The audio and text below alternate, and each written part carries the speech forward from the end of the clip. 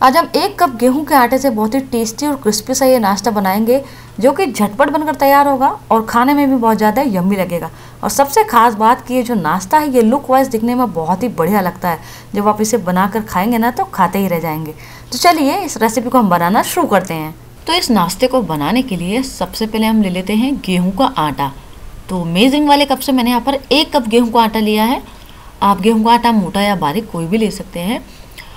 मैंने जो आटा लिया है थोड़ा सा बारीक है तो मैं इसमें तीन चम्मच के करीबन सूजी डाल रही हूँ, जिससे कि नाश्ता जो है, वो थोड़ा सा क्रिस्पी बनेगा, हल्का सा कुरकुरा बनेगा। यदि आप मोटा वाला आटा इस्तेमाल कर रहे हैं तो आपको यहाँ पर सूजी डालने की ज़रूरत बिल्कुल नहीं है। अब इसके अंदर हम डाल देंगे वन टेबल स्पून के करीबन आजवाइन आजवाइन से फ्लेवर भी बहुत बढ़िया आएगा और डाइजेशन भी बहुत ही बढ़िया रहता है उससे।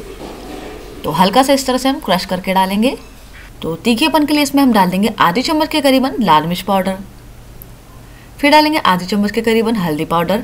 हल्दी पाउडर से कलर बहुत ही बढ़िया आता है और हल्दी पाउडर हमारे सेहत के लिए भी बहुत ही फ़ायदेमंद होती है। गेहूँ का आटा जो है वो हर घर में अवेलेबल होता है तो आप इस नाश्ते को जब मर्ज़ी चाहे तब बना सकते हैं।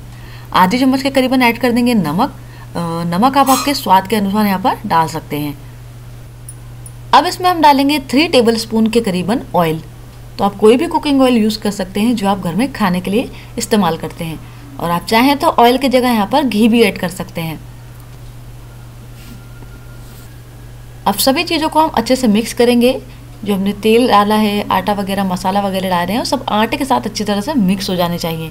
तो इस तरह से हम हाथों से इसे क्रम्बल करते रहेंगे, ताकि तेल जो है वो अच्छी तरह से आटे के अंदर मिक्स हो जाए।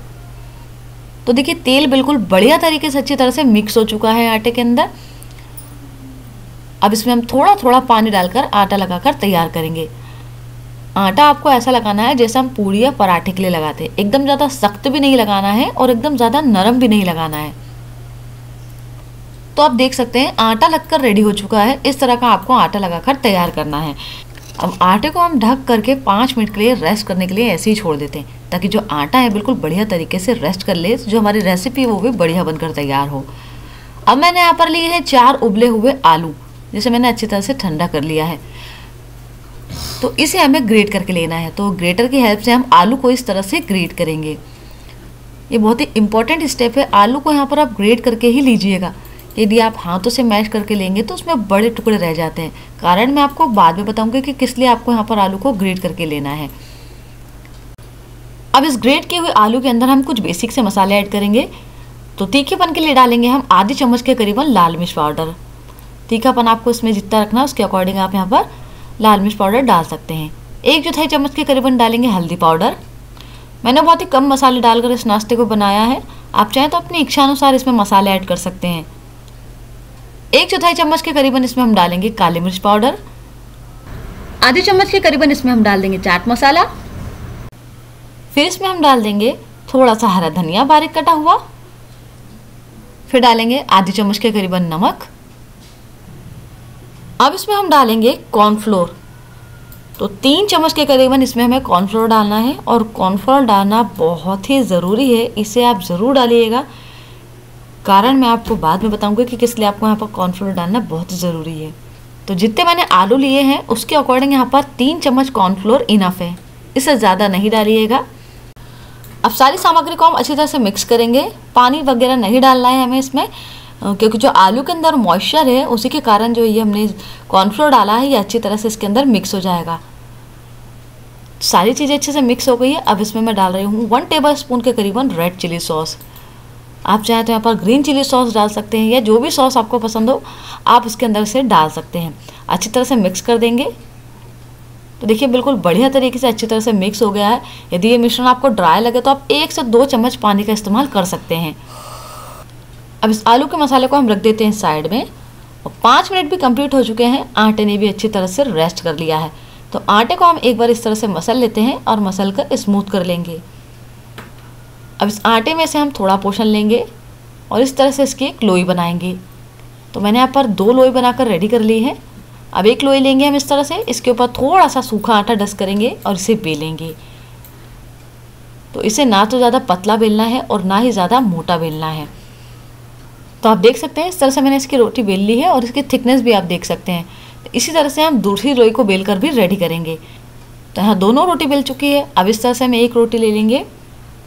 और जो हमने आलू का मसाला बनाया था, उसे हमें इसके ऊपर फिल करना है। तो थोड़ा थोड़ा मसाला हम इसके ऊपर डाल देंगे। और इस तरह से चम्मच की हेल्प से हम इसे रोटी के ऊपर इस तरह से स्प्रेड करते जाएँगे। इसलिए मैंने आपको कहा था कि आलू के बड़े टुकड़े नहीं रहना चाहिए। देखिए, क्योंकि हमें आलू को इसके ऊपर, रोटी के ऊपर फैलाना है। यदि आलू के बड़े टुकड़े रहेंगे तो इस तरह से आलू के प्रेशर से वो रोटी जो है, वो फट जाएगी।